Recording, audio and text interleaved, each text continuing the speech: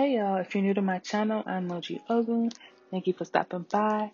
Today's video was just going to be uh, watch me transform my mannequin head because I'm not a professional. I don't know what the hell I was doing.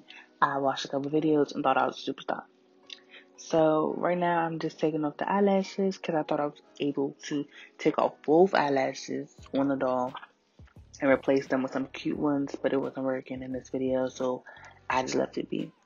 Everything I do in this video, like I said, is not done by a professional. I do not do mannequin makeup for a living. If you look at the end product, it don't even look that good. But I just wanted to record it and inspire somebody that wanted to do this. You don't got to be perfect. The way that you see my mannequin at the end of the video is probably not how you're going to be seeing it on my Instagram. So that's that. Um, my Instagram handles will be down below if you want to see how the mannequin looks with the wig on it.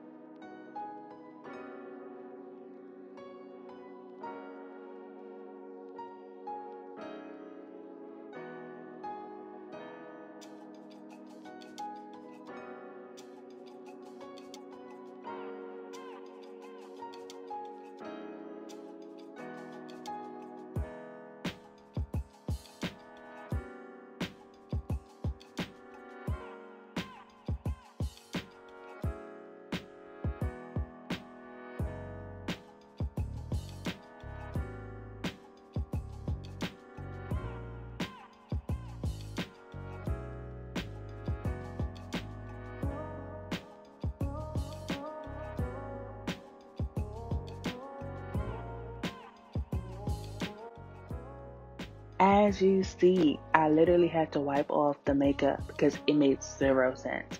Um, I just got a towel and hand sanitizer and just removed everything and started afresh. Just to show y'all that I'm not perfect. It's a-okay. Just wipe it off. It's okay. so yeah, I'm gonna stop talking so y'all can watch the rest of the video. But comment down below if you have tried to transform your mannequin head or you have done it. Link your page so I can check it out and comment. Subscribe for more content, and thank you so much for clicking. See y'all in the next one.